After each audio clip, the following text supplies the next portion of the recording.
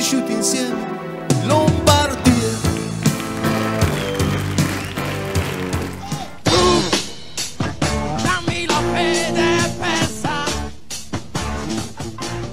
Ciao a tutti, bentornati anche oggi sul mio canale. Anche oggi per un videovlog che però oggi voglio dedicare a un grandissimo chitarrista, un grandissimo produttore che ha fatto la storia della musica italiana perché ha fatto parte di gruppi importantissimi e che purtroppo è scomparso proprio ieri. Oggi voglio dedicare a lui un vlog sulla sua vita, la sua carriera, i gruppi dei quali ha fatto parte e sono qui apposta per ricordarvi questo grandissimo artista. Quindi buona visione e benvenuti anche oggi sul mio canale. Cosa sei?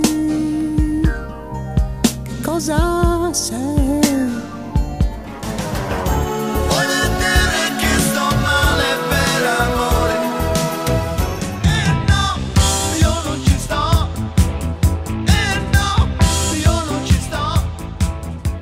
Alberto Radius era nato a Roma nel 1942, dove aveva iniziato la sua carriera musicale che poi lo avrebbe portato, tra le tante cose, a essere uno dei fondatori di Formula 3. Il suo esordio risale però alla metà degli anni 50, quando fece un gruppo che si chiamavano White Booster e poi appunto formò i Quelli, che come ricorderete bene fu poi la band che diventerà la PFM, la premiata Forneria Marconi. Qualche anno dopo, con Tony Cicco, Gabriele Lorenzi, fonderà i Formula 3, un gruppo musicale che viene prodotto dalla numero 1 etichetta di Lucio Battisti. Per Battisti i Formula 3 incideranno un brano, questo folle sentimento che diventerà tra i singoli più venduti in Italia di sempre. Il primo album del gruppo infatti è del 1970. La carriera di Radius però vive anche in maniera indipendente dal suo gruppo. Infatti nel 1972 inciderà il suo primo album da solista.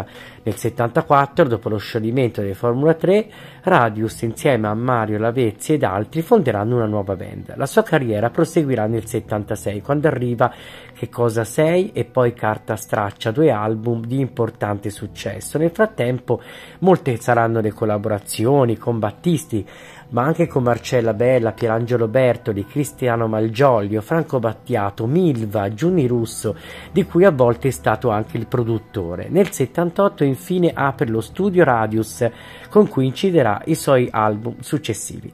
L'ultima apparizione pubblica di Alberto Radius è legata al Festival di Sanremo del 21, quando arriva sul palco con i Comacose nella serata delle cover e canterà il mio canto libero di Battisti.